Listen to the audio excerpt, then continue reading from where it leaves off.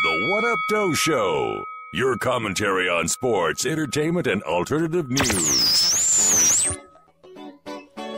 It is Black Friday, y'all. Not just any Friday, Black Friday. You know why?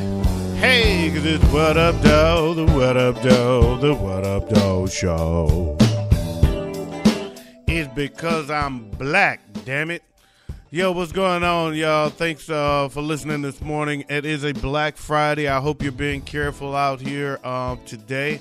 Um, I got some birthdays today. I have uh, my man Smokey Moore, James Moore. Uh, we used to play baseball together back in the day. Um, DJ superstar, aka Zelma Lee.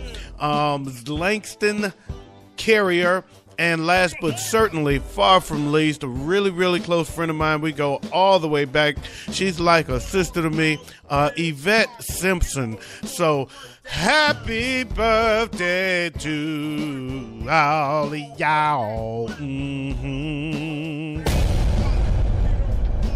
Uh, yesterday, I um, accidentally played today's beats so I didn't get to do the throwback. So it's now an old school Friday, and I'm gonna play the throwback Thursday beats today. So we gonna call it an old school Friday today. That's cool with y'all? As if it matters. Let's go and get this party started. Oh, yeah. I like the old school beats. Let's bring them. Uh, never mind. Y'all tripping. Okay, in sports yesterday, of course, it was Thanksgiving, so we had football on top of football on top of football. The San Francisco 49ers playoff hopes are on life support after a 19 3 defeat at home to the Seattle Seahawks on Thanksgiving. I hate to admit this, but Seattle has Frisco's number, baby. You know I hate to admit it. Anybody that knows me know I hate to admit that. Um, but it's true. I'm convinced that the only reason Frisco made it to the Super Bowl two years ago was because they didn't have to go through Seattle to get there. Same could be true this year if they make the playoffs and Seattle falls to someone else. Frisco on any given Sunday can defeat anybody else in the NFC. Cornerback Richard Sherman owned Colin Kaepernick's punk ass last night, giving up zero completions and collected two interceptions.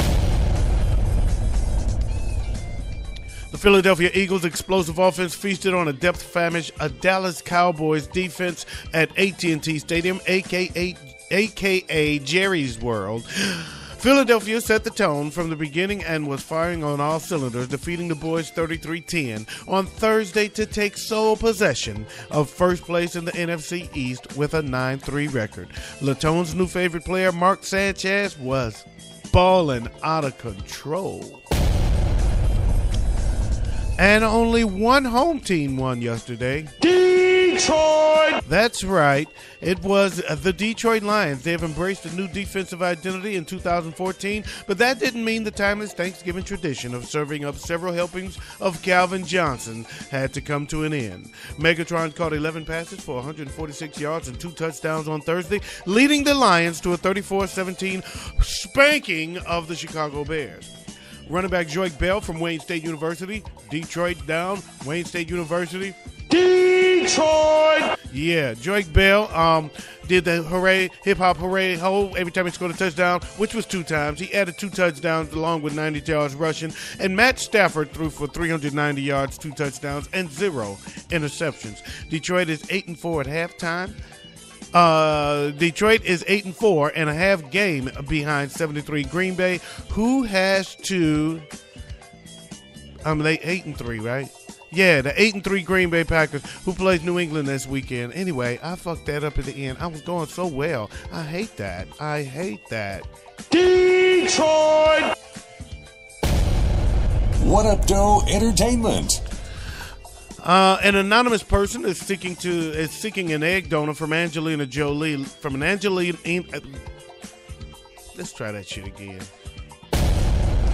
What Up Doe Entertainment. An anonymous person is seeking an egg donor from an Angelina Jolie lookalike and offering $30,000 for the donation. The ad was placed in a Beverly Hills newspaper, and the ad is very specific white, tall, slender, high cheekbones and forehead. Anyone with the right stuff can make $30,000 for two cycles. Ain't that about a bitch? That's kind of creepy if you ask me. I would think that I think that is kind of creepy. What up, Doe News? He might be a creepy clown. In Norwich, England, a British museum said it paid nearly $65,000 for a bronze, bronze Age dagger found by a farmer who was using it as a doorstop. The Norwich Castle Museum said the 21 inch ceremonial dagger, believed to be about 3,500 years old, had been serving as a doorstop at the home of a Rudham farmer who discovered it on his property until he had it examined by experts. The item dubbed the Rudham Dirk was examined by Norfolk's Portable Antiquities scheme and found to be of incredible importance. $65,000 worth of importance. That would make it important to me. In uh, Jesrich, France, a French inventor says pills he developed to make bodily gases smell like chocolate were inspired by a particularly flatulent meal with friends. Christian Poincheval said his Lutin Malin or Crafty Imp line of peels can make a customer's bodily gases smell like chocolate, roses, or violets. smell that, baby. Does it smell like roses? Yes, my poops smell like roses. My ass smells like violets. My farts smells like chocolate. Poincheval developed the chocolate scent specially for Christmas. Yeah, don't you want a candy bar now? Don't you now have the taste for a Snickers? In Melbourne, Australia, a woman hanging laundry on a clothesline in her backyard fell 10 feet into a sinkhole and had to tread water at the bottom. Melissa Beaumont said her mother, Christina, was visiting an elderly friend to help with household chores Tuesday when she fell into the backyard sinkhole. Emergency responders said it was about 20 minutes before a neighbor heard her screams and called for help. Ambulance Victoria paramedic Stephanie Palambaris said Beaumont landed in water. Otherwise, she'd be kaput, capini, and her boots smell like roses. In London, England, a British man said he was walking with his girlfriend in a wooded area northeast of London when they discovered a huge marijuana farm just off the path. Oscar Laren said he and his girlfriend strayed off the path in the Epping Forest to seek out mushrooms when they instead discovered about 70 marijuana plants that appear to have been professionally cultivated. Yeah,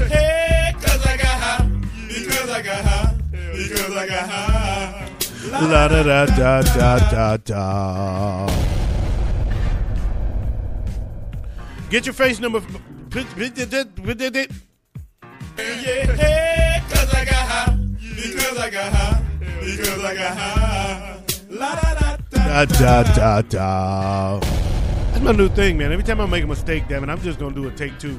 Get your Facebook numbers up, folks. A Stockholm, Sweden, a Swedish luxury hotel in Stockholm announced it is accepting social media as currency, offering free stays to anyone with more than 2,000 Facebook friends. The Nordic Light Hotel in Stockholm said anyone with more than 2,000 personal Facebook friends, 100,000 likes on their Facebook page, or 100,000 followers on Instagram can stay at the facility for up to seven nights in exchange for social media posts at check-in and check out times.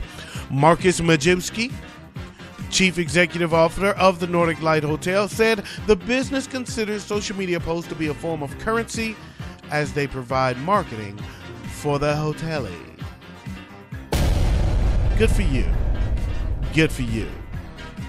Because I got high. Because I got high. They should do that in, uh, never mind. In Beijing, locals are furious since the clothing store has banned Chinese shoppers, with employees calling them annoying. Isn't that in China? Anyway, the store has posted a sign saying Chinese not admitted except for staff. We didn't want to hang up the sign in, in the first place and lead people to think we Chinese like don't look down upon ourselves. But some Chinese customer are too annoying. A salesperson told the What Up Doe show, pointing out that the wholesale store mainly sells to foreigners like us. Workers also explained that Chinese women often try on a lot of clothes but end up buying nothing. And one time, a surveillance camera caught a Chinese customer stealing a foreigner wallet. Hmm, I had to pay for that. I had to pay for that. I don't like that. And for those that can't see me, my lips are still moving like the Chinese move. Another, another said the decision was aimed at preventing competitors from copying designs. They steal my shit. The move was ignited. The move has ignited a storm of controversy, with one angry person asking, "Is this still China? Is this still China? Is it? Yeah, it's China. Uh, yeah." Evidently, it's not China. It's America. Welcome to my world. In Newcastle, Pennsylvania, environmental official, officials are trying to determine why an odor resembling cat urine has been lingering in a neighborhood for more than three weeks. The Pennsylvania Department of Environmental Protection opened an investigation after residents said the odor first showed up strongly in the Mahoningtown area October 31st and has lingered ever since with frequent spikes in potency. Amanda Whitman, information specialist for the DEP, said crews used a, a, mobile analytical unit to take atmospheric samples during odor events in two heavily affected areas. But the test results typically take several weeks to process. Meanwhile, enjoy the smell of cat piss. Merry Christmas.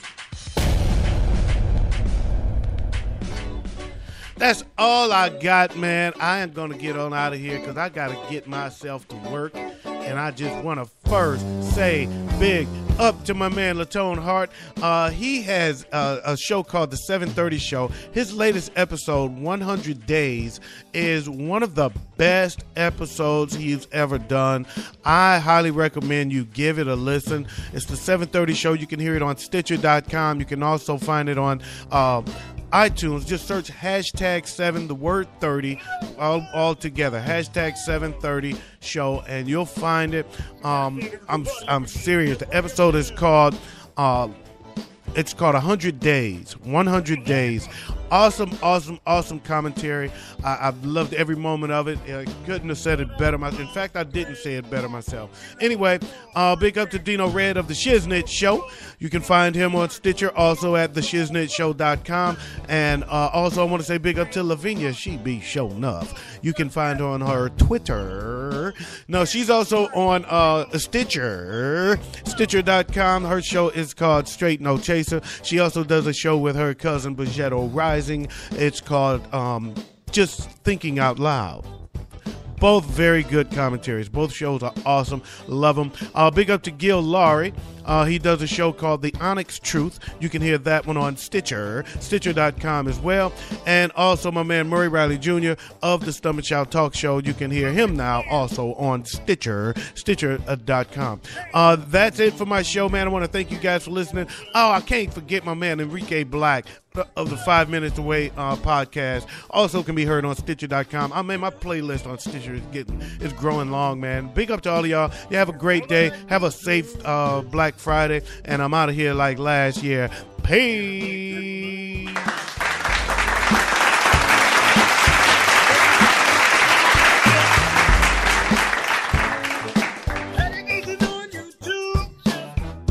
Oh, and in case I don't see you, good afternoon, good evening, and good night.